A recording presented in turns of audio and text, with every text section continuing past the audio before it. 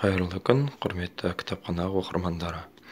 Бүгінгі біздің бейне сабағымыз шахмат ойынындағы негізгі және жиі қолданылатын терминдерге арналатын болды. Бүгінгі біздің талқылайтын терминіміз ол пат.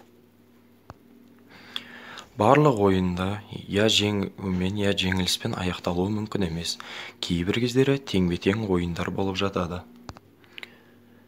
Теңбе тең ойын деп біз кейбір кез тақта үстіндегі қал екі патша ғана қалған кезде теңбе тең ойын деп атаймыз. Я болмаса қарсыласымыздың я болмаса өзімізде піл және ат қана қалған жағдайда яғни одан басқа фигуралар болмаса бұл тең ойын болып саналады. Себебі біз патшаға шақ я болмаса мат жариялай алмаймыз.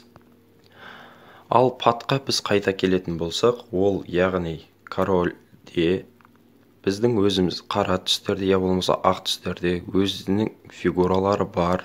Бірақ алайда патшаның ешқандай ходы қалмаған жағдайда бұл пат болады.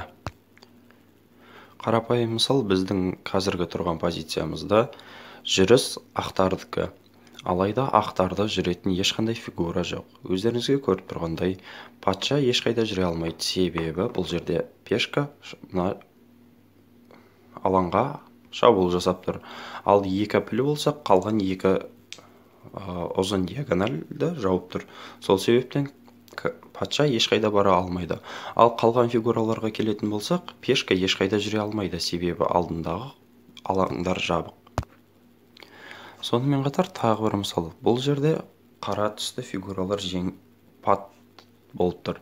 Себебі король яғни патша ешқайда бара алмайды. Себебі мына алаңқайға пешка шабуыл жасап тұр. Ал мына ұзын линияны біздің кемеміз жауып тұр. Сол себепті бұл жерде қара патшаның ешқайда бара алмауының есебінен пат жарияланды